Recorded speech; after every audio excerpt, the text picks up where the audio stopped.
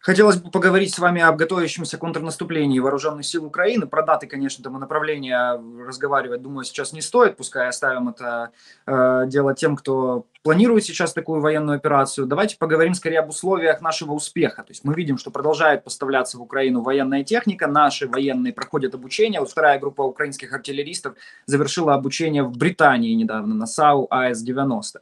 Вот. И Алексей Резников анонсировал уже, что значит вот конец апреля, май месяц, как раз то самое контрнаступление может и начаться. Как вы думаете, какие условия нам необходимы для того, чтобы эта военная операция прошла так, как мы того желаем? То есть что, нам, что мы уже имеем и что нам просто критически необходимо? Не то, что желательно, а вот прям необходимо для успешной этой операции.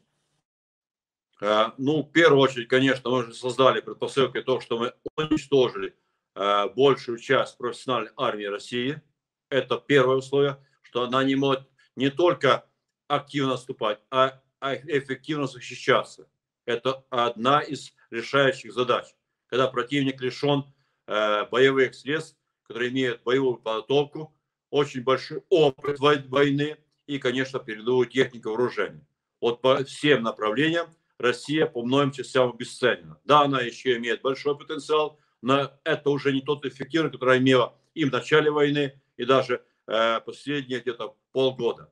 Вот. На сегодняшний день, конечно, мы, защищая определенные потери, и у нас есть, но не те, которые там указывают ряд аналитиков изучения войны, что мы тоже теряем большие-большие резервы, которые э, могли бы использовать для наступления. Наряду с э, тем, что мы теряем 1 5, 1 7, а по некоторым 1 10, с учетом новейшей техники вооружения, и то, что мы защищаемся, а не нападаем, это совсем другая категория, другие потери. Вот. С другой стороны, мы научились воевать. Это у нас не мобики, а люди, которые уже прошли горнило войны и могут эффективно выявлять тактику противника и противодействовать по определенным направлениям. И тактика уничтожения противника была избрана правильно. То есть первый этап мы решаем. Второй этап, конечно, это подготовка наших вооруженных сил и средств. И в первую очередь, это, конечно, новейшая техника вооружения. Вот э, два крайних Рамштайма были решающими для того, чтобы подготовить нашу армию, наши в целом все подразделения для решающих наступательных операций освобождения территорий.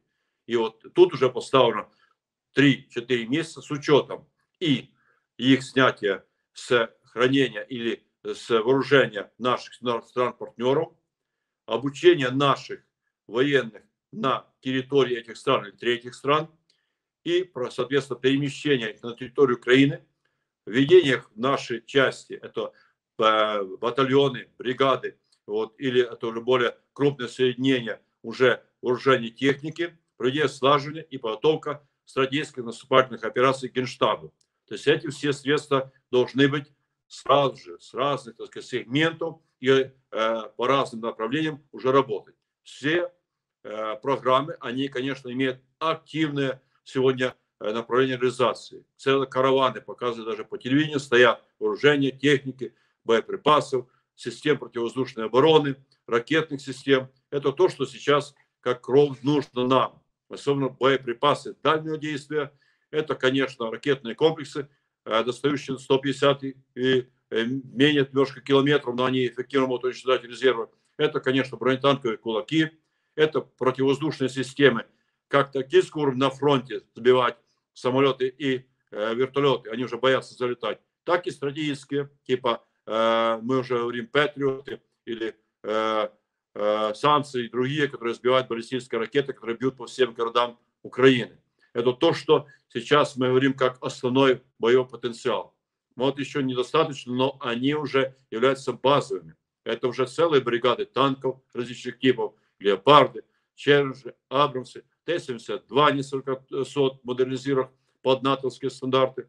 Это, конечно, БМП, э, несколько также сот. Это САУ с очень мощными возможностями наведения и дальнобойностью 40-50 километров. Это очень мощно бьет. Любые танки БТР сносят полностью. Это ракетные системы. То есть это то, что сейчас пребывает уже полным ходом, практически уже идет стадия где-то приближения к реализации уже к завершению, думаю, на протяжении нескольких месяцев. Поэтому вот этот потенциал, наряду с подготовкой новых бригад, включая бригады прорыва на базе МВС, э, Нацгвардии, пограничников, Минобороны, то есть Генштаба в первую очередь, конечно, спецподразделения, спецвойск наших, это еще одна составляющая.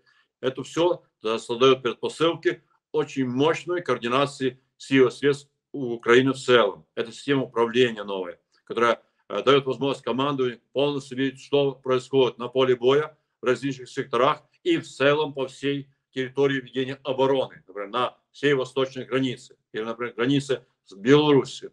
Это, конечно, разведка мощнейшая, которая контролирует все ресурсы, которые поступают с территории России и Беларуси. Это э, движение и контингентов, это войск и уничтожение их тут дачи, команды стран на подходах. Это, конечно, укрепление наших направлений основных обороны, которые мы видим, что тут основные силы противника. И, конечно, подготовка неожиданно для противника ударных групп и, соответственно, мощных групп прорыва, которые могут развивать наступление тактического, стратегического уровня. Вот это сейчас основной процесс, который идет ну, день и ночь, прямо скажу. И, конечно, это ближайший Резников говорит, да, как и мы раньше неоднократно говорят, где-то примерно под конец апреля-май, ну, примерно сроки такие же, может, чуть-чуть сдвигаются на 2-3 недели больше, но это уже не принципиально. Самое главное, что эта вся система задействована, она готовится, планы, соответственно, э, готовятся, и, конечно, обесценятся усилия противника. Где как будут проводиться, какие будут отвлекающие удары, какие основные, это уже штаб разработает. Я думаю, что а как раз весна-лето, это будет уже театр активных боевых действий, направленных в освобождение как Востока нашей страны, так и Юга. И эта перспектива реальная. Но и аналитики говорят, что нереально Крым, но я даже в этой ситуации говорю, успешное наступление на южное направление, тем более стратегического уровня, с активной фазой э, удара по противнику в различных секторах, как и в тылу, по огневым средствам, по складам, по штабам и по фронтовым буквально подразделениям, проведение обходных маневров, ударов с тыла, с флангов и, конечно, фронтовые наступательные операции, они могут привести к, огромным потерям противника, бегству его за Крым. И мы можем заходить также на Крымский перешеек прямо на плечах этих отступающих, не врезаясь в оборону, где они готовят, а, а прямо за ними. Это очень эффективная система начала освобождения Крыма. А там уже мы говорим по многим нашим оперативным данным, конечно, и военные, и гражданские россияне уже готовятся к эвакуации, бегству. Тем более, если мы решим в этот период, это как раз решающий формат, когда будут военные действия идти и по Крымскому мосту, что и нейтрализовать, фактически уничтожить, это позволит в ловушку замкнуть э, определенный контингент. Это не будет как бы мощный плацдарм, это будет ловушка. В данной ситуации мы с разных сторон возьмем и огневыми средствами, и наступательными операциями, э, если мы зайдем по перешейку прямо за ними, и, конечно, очень мощным ударами по Черноморскому флоту различными системами дальнобойной артиллерии, э, как раз корабельных возможностей, которые бьют на 200-300 километров. Это то, что позволит нам и выгнать просто даже этот флот, возможно, если уничтожить в Новороссийск. То есть и даже такой базы не будет мощной, которая поддержала бы россиян. Поэтому в данный момент есть очень разные сценарии. Я назвал только самый такой активный, оптимистический сценарий, который может быть работать на ближайшие перспективы. Я думаю, что и команда сегодня оценит ситуацию именно исходя из возможностей наших, действительно перспектив. И самое главное, что этот вопрос очень важно не затягивать надолго, потому что в любом случае тактика и стратегия, особенно России, это затяжная война с целью измотать ресурсы, Э, добиться, чтобы ослабла поддержка Запада, а сами потихоньку наращивать ресурсы. Да, тяжело найти на новые, новые мобилизации, готовить на базе ПК старое, но оновленное вооружение, получать стран партнеров, которые они когда-то продали э, новейшую технику вооружения, назад они пытаются сейчас возвратить. Но для этого нужно месяцы, очень многие, полгода и год. Поэтому не дать им возможность, это наша сегодня первая задача. А за это время решить вопрос освобождения нашего государства. Николай Григорьевич, напоследок еще хотел бы обсудить с вами заявление главнокомандующего Валерия Залужного. Он в который раз в интервью сакцентировал внимание на то, что Украине необходимы прямо сейчас значит, современные истребители F-16. Тем временем в администрации Байдена значит, продолжают заявлять, что сейчас для них, для этих бортов, не время. А глава Пентагона, хоть и допустил передачу Украине э, этих истребителей, заявил, что подготовка может занять примерно полтора года. Но понимаем, что полтора года, даже если говорить о том, что наши пилоты должны научиться летать на таких бортах, это все равно очень долго. А почему все время акцентируют акцентирует главнокомандующий наш э, Залужный на том, что эти истребители необходимы сейчас, да, мы знаем вот, что недавно там передала Словакия там несколько своих мигов, готовится Польша. Что умеет этот F-16 такого, ну вот, что нам, не, какие функции его нам просто необходимы вот, в ближайшее время, возможно, для контрнаступления, из тех, что, например, невозможно воплотить в жизнь, например, на тех же мигах? Конечно, наличие таких самолетов, как F-16, это многоцелевой. И бомбардировщик, он может работать как истребитель, он может запускать баллистические ракеты, то есть это как бы э, мощная такая огневая э, крепость, которая летает э, на небе. То есть она может и стрелять и ракетами, и, соответственно, боевые боеприпасами по фронту, и, соответственно, проводить очень эффективную разведку, проводить слаживание, получая разведданные. То есть он очень эффективный во всех боевых операциях непосредственно на фронте, при фронтовой зоне. Вот. И, конечно, поражает громадное количество целей. Поэтому в данной ситуации он очень важен. Но это пока позиция начальника штаба. Она правильная, но она нереальна на сегодняшний день. Сегодня действительно нужно работать на их получение. Но получить так быстро, если мы реально оценим ситуацию, практически невозможно. Э, руководство США заявит то, что они готовы передать, но переговоры нужно вести. И сегодня говорить о чем? О том, что ближайшее время получить их нужно. Мы готовы их освоить, готовы готовить э, наши аэродромы, потому что они не подходят к F-16, подготовить ремонтную базу, систему навигации, систему управления. Видите, я сколько называю. Это все нужно готовить. Для того, чтобы это все подготовить, нужно время. Еще даже решения нет, но время. Это по да, самым лучшим оценкам, это начиная от полгода до 8 месяцев, это самый оптимистический прогноз. Нас, да, действительно, мы должны работать это направление, ничего нас не ограничит. Что получите через 6 месяцев, уже мы освоили, через 8 или через год, как там говорит уже э, и Остин и другие, вот, это наша перспектива обороны. Но сегодня мы говорим о наших сегодняшних потребностях, которые действительно мы можем реально получить и получаем. Это что нужно? Заменить эти системы. Если мы говорим об авиации, но пока мне их 29. Это только усиление нашей авиации. Самое главное заменить ракетами, заменить дронами, заменить эффективными э, системы наземного базирования, которые могут наносить колоссальные удары, как западные, так и наши ВПК, типа Альха, которые на 200 километров. А это замена. Это будут уничтожать как и самолеты, и все контингенты, которые будут двигаться на поездах, по колоннах, и склады, и штабы, и систему управления, и любые резервы и, конечно, они естественно, на поле боя.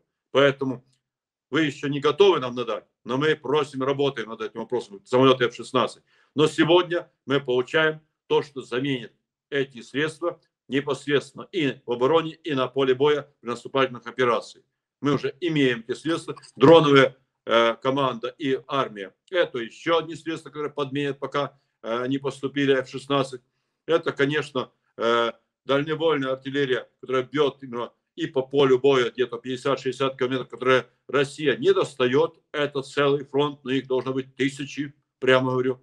Это не э, Хаймерсы, например, там, или э, Насовцы, которых там несколько десятков там всего получается. Это сотни, сотни, сотни, тысячи, которые э, полностью защищают всю линию огня. Это 1200 километров, если мы говорим по всему направлению. Вот это да. И несметное количество боеприпасов. Вот боеприпасы это еще больше сказать, номер один. И ракеты, и снаряды, и мины, и э, боеприпасы к обычному вооружению. Это то, что сегодня требует армия. Бахмутские хлопцы стоят там, вот, да, действительно дефицит чувствуется определенный, нужно пополнять быстро, буквально ежедневно. Вот, точно так же Волидар, точно так же Авдеевка, Свято Кременто, по всем направлениям. Вот тут мы будем на коне, когда мы будем перевес и в новейшем вооружении техники, дроновой команде, э, систем противовоздушной обороны и немеренное количество боеприпасов, которые он использует высокоточно и эффективно по большим контингентам вот этих неэффективных средств Российской Федерации. Это как раз тот период, который даст нам очень мощные возможности уничтожить все то, что есть там живое на поле боя или на подходах, и, конечно, дать возможность развивать наши наступательные операции. Тут действующая авиация, которая еще есть, будет соображать эти процессы. Да, она не будет стратегического уровня, но хотя бы поддержит тактически и возможно защищать от авиации противника рядом с системой ППО. Эта функция они выполнят. Но те средства, которые получаем, э, как и сказал Остин, как и сказал Мила, они на сегодняшний день самые актуальные, поступают самые быстро и мод эффективно, самое эффективно использовано для наступательных операций в Украине.